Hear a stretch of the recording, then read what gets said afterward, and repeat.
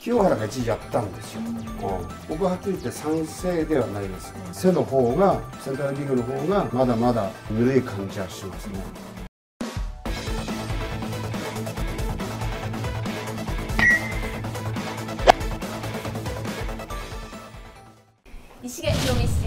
です。はい、はい、こんにちは。よろしくお願いします。お願いします。グッドボタンもよろしくお願いします。はい、ありがとうございます。チャンネル登録もよろしくお願いします。はい、えー、そして LINE アットも始めましたので、皆さん参加してください。えー、たまにですね、この動画を少し早くそちらの LINE アットで流すということも、もうしてるのかな？フライングダメなんじゃないの？大丈夫な？大丈夫です。このチャンネルで決めることなので。俺ね、フライングってちょっと話、まあ、入る前に言うんだけど、はい、人生のゴールとなんかみんな決めるじゃん。人生のゴール。例えば受験戦争で頑張って希望校に入る大学に入る、はい、あるいはいい企業に入る、はい、うん、まあそれがあたかもその一つのゴールのようにみんな言うじゃん、はい、うん、これでも大事だと思うんだよね、ええ、目的とか目標を持って頑張るということは、うん、じゃあゴールは大体設定されてるのに、じゃあスタートはいつにするのよってとこなんだよね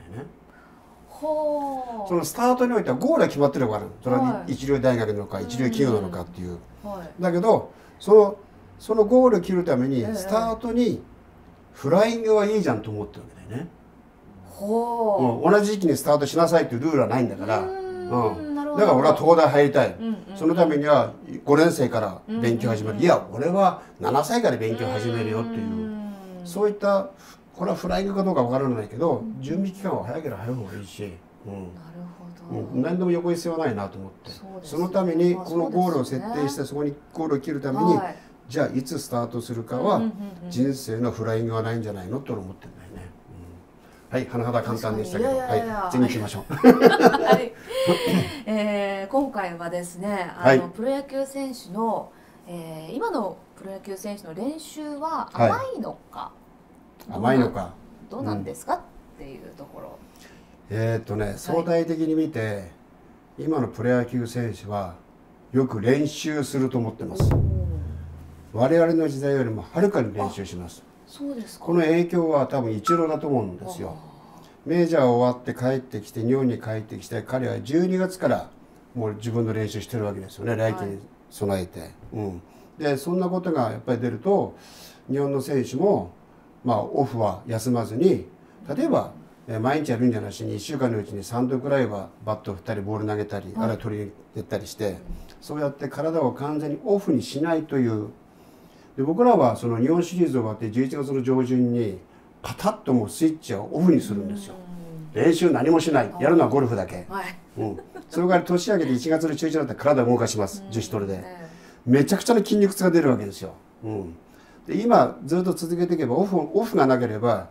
筋肉痛がないわけですね、はい、で自分のパフォーマンス維持できるんで、えー、これはこれでまあ一郎の影響かなと思って、うん、僕はある面ではいいことだなと思ってます、はい、これからオープン戦公式戦に入ってきますけど、はい、えー、そういった我々は11月12月、まあ、2か月くらいはピタッとオフは作ったんですけど、それを今の選手やるわけですよね。でまたシーズン入ってきてもあのあるいはそのキャンプの時でも練習量個々の練習量は僕らの時代よりもはるかにあると思ってます、うん、これはある面ではいいことだなと思ってます、ええはい、なぜかっていうと選手はやればやっただけ金になるわけですよ、うん、競争社会にいて競争に勝ってレギュラーポジションを取ってゲームに出れば数字を残せば給料上がるわけですよね、はい、そういう面では、えそこが原点だということは彼らも分かってるんで、今やらなければ本当いつやるみたいな感じでやってるわけですね、はい、だから今の練習選手たちは練習量をやると思いますよ、うん、練習の内容というとどうなんでしょうか？あの例えば野球というスポーツが生まれて何年経つか分かりませんけどそれはメジャーも日本の野球もキャンプなんか見るとウォーミングアップしてキャッチボールやってペッパーやって党内連携やって内野ノックやってえー、シートノックやってバッティング練習してこれはね何十年変わってないんですよ。ということは野球ってやっぱり投げたり打ったり取ったりこれそれを繰り返してそれが技術なんですね。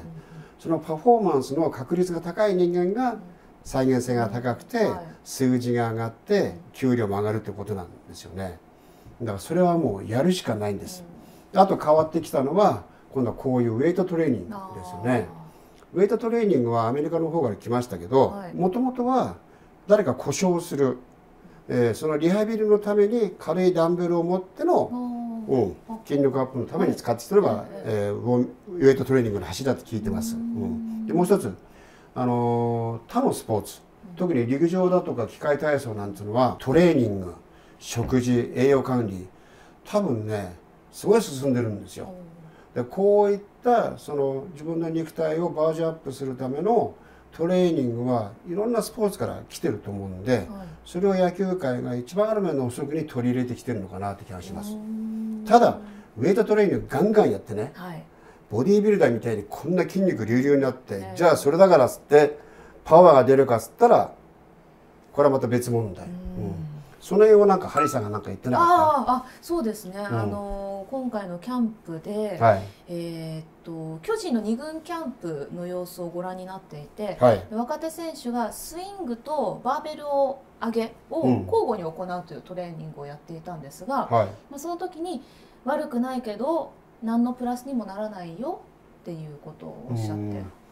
スイングして、うんティーとかバッティングすぐまと終わってそのダブルとかやってパワーアップするんですか、はい、一つは高に筋力アップのこともあるでしょう、うん、で振って振って筋肉がまあ張っててバットを持つ。力が入らない、うん、力が抜いたところでバッティングをしてなんか覚えさせるということもあるのかわからない、うん、どういう目的でバッティングコーチが二軍監督がやらせるかちょっとその辺意図分かりませんけどうんまあ意図とするならばそういったアップと、まあ、力を抜いてのスイング感覚なくしてのスイングを身につけようという狙いかもわからない、うん、ただあのあんまりねこれも僕ははっきり言って賛成ではないです、うん、あのまあ、今さっき言ったようにシーズンオフあんまりないって言いましたけどあんまりやりすぎてね、うん、こうなる、まあ清原がちょっとあの OB クラブに参加してこれからいろいろやってきますけど、清原が一時やったんですよ、うん、そしたらこうなりました、はい、で僕会って聞いたんです。ちょうど評論家1年目、うん、彼が巨人軍行った時ですね「清なんでそんなにその体を筋肉つけて、えー、そんなに筋肉流入して野球やんだ」っつったら「八、う、重、さん僕は子供たちに150メートル級のホームランを見せてあげたいんです」と。うん、えって「ホームランはよ」ってオーバーフェンスだから 100m120m 飛んだらオーバーフェンスになるぜっていや違うんですよ。150m のホームランを打って見せてあげたい、うん、そのためのこれですと、はい、もう一つはその当時多分通ってたジムがそのアメリカンフットボールを指導したトレーナーということで、アメリカンフットボールの選手は例えば100キロを超える体重の選手が 100m10 秒台で走るんですよっていう、そういう筋トレもされてるんですと。ああ。うんまあそうか？みたいなとこで。だから僕はねシーズンオフあるまでやってもいいと思ってます、はい。うん、シーズンオフやって多少筋繊維を太くしてこうなってその体でキャンプに来てバットを振り込んでいく、うん、そうするとこう野球に必要ないある投げるために必要がない、うん、そういう筋肉はそがれていく、うん、残った筋力、まあ、振るために必要な筋力投げるために必要な筋力が残されていく、はいそれをこう鍛えた筋肉がうまく、えー、稼働していけばいいかなと思うんですけど、うん、ハリさんの言うことも僕は分からないわけじゃないですね。うん、現にあの清原の1年目、えー、大体1年目2年目松坂大輔もそうですよ。あの大体1年目2年目の選手って細く入ってくるんですよ。あんな細いんですよ。で、それが何年か経つとちょっとこういうになってくるんですね、パフォーマンス落ちていくという気がするんですよ。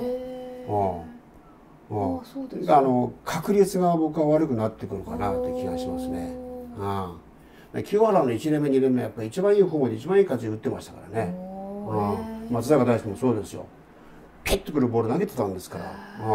えでもまだそのでもアマチュアとプロの体っていうのもあったりするあのー、確かにね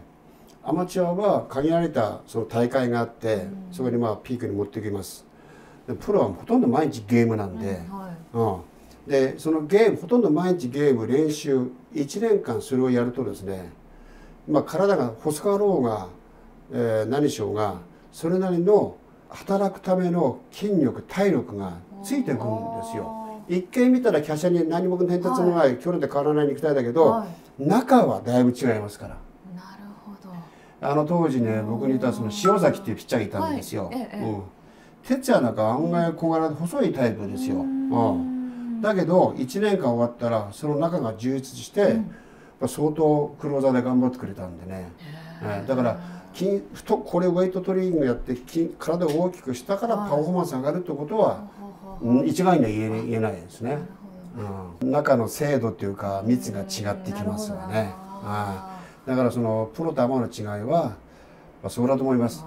もう365日野球のことを考えているのとシーズンシーズンで考えるアマチュアと、うん、でその365日体を使って鍛えてる人間とそうじゃない人間の差はやっぱりありますよ。うん、確かに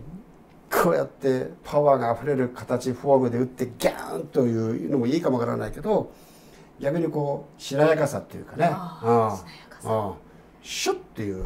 ギャーンじゃなしにシュッていくような感じの綺麗だとかしなやかさもある面ではプロの技ではなかろうかなって気がしますね。そうですか、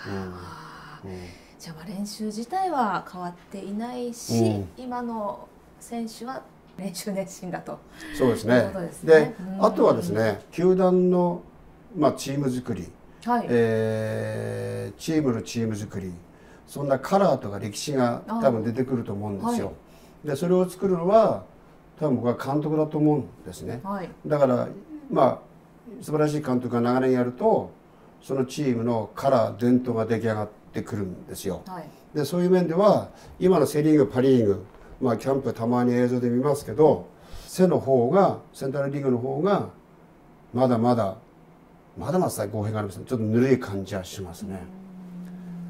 セントラルリーグの監督さん見てくださいよ。ね、皆さんが負けた読売巨人軍が2年連続ソフトバンクに4立て食らうわけですよって。その巨人軍に皆さん負けたわけですよって、うん、だったらだったらどうしたら勝てるか。いや巨人軍を倒すだけじゃない。パシフィックリーグに勝つにはどうしたらいいんだというその辺のより具体的に噛み砕いたものでキャンプスケジュールを組んで1年間の戦いぶりを考えていく、うん、そうしていかないとなんかまあ簡単に優勝しますって言うけど、はい、優勝するためにはどうすんのっていう、うん、あるいはパシフィックリに勝つにはどうしたらいいのっていうところまで心底をね指揮官が思わないと、うん、うん、で思ってるような見えないんですよ。うん、ああもっとね監督に近寄りがたいななんか近寄ってくれながら走ってるよなってピリピリしてるよなって。ほうそりゃそうだよなってしょっちゅうパシフィックに勝てないんだからセンターリーグさん気合って当然だよなみたいな。そういった映像だとか姿だとか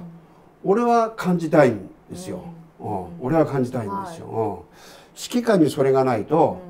なんか選手は確かに練習します。練習するけどその練習したスキルアップした選手をどうやってまとめて同じ方向性を見見さして、どうやって戦って勝っていくんだっていうこれは戦術戦略が指揮官の仕事なんで、うん、その辺がこうグッとこう,、こう腹に思って、うん、こんな手ただけで笑顔なんか出せねえだろみたいな、うん、俺はこう思うぞっていう指揮官が監督、えー、コーチの、ね、スタッフに伝えてスタッフも、まあ、一枚岩になって、うん。そうやって雰囲気を出して選手が逆にその雰囲気を感じて今年はうちは監督中心にしように違うななんかもっとやろうぜみたいな、はい、なっていかないと俺はセントラルリーグでも、うん、パシフィックリーグでもあるいはパシフィックリーグの他のソフトバンク以外の5球団の監督チームは勝てねえんじゃねえかなと思ってるんですね。うん、同じことをしていたら優勝はできないと。うん。うん、まあ球団チームじゃなしにやっぱりこれは今は現場の指揮官の、うん、どんな思いで野球と向き合ってるかそれをこうまあ旗から分かるように僕は示してほしいなと思いますね。うん、じゃそのあたりも今シーズンは感じたいですね。そうですね。はい。はい。はい、その辺見どころです。はい。ありがとうございました。はいあの、まあ、YouTube チャンネルと言いますと、はいはい、えー、石毛ひろみち TV が始まりまして、うん、そしてまた新たに石毛さん関わっていらっしゃる。あのー、週に2日3日やってる OB クラブ、はい、全国野球振興会、はい、25年の歴史があるんですけど、はい、あの野球界に恩返しっていうコンセプトで始まりました、はい、初代会長は川上哲治さんが言い出しっぺで、えー、こうなってきてるわけですね、えー、で我々は人生の野球界の先人先輩の意思を受け継いで今その思いを我々がやってるとこなんですけどね。でこれはこういう時代ですから、はい、コロナ禍においてなかなかこの野球教室もできないっていう、はい、うん、で今のそういった YouTube だとか、えー、リモートだとか Zoom だとかそれをうまく使いながらですね、はい。我々が培ってきたものを発信していこうというところなんですよ。で今実際プロ野球 OB クラブ YouTube チャンネルがスタートしてますから、はい、で僕も一応会社の中にいる人間なんで、はい、そちらのも一緒にやってますから。できれば石垣の道 TV と一緒に、ですねはいえー、プロ野球 OB クラブ YouTube チャンネル見てほしいなと思ってます。はい。はい。ね、チャンネル登録も、お願いします。はい、お願いいたします。えー、ご覧になっていただいてありがとうございます。えー、お願いございます。まずチャンネル登録をお願いしますそしていいねもついでによろしくそれでいろんなこと思ったら俺こう思うよ。いいねとかいろんなものあるでしょうからコメントもよろしくです。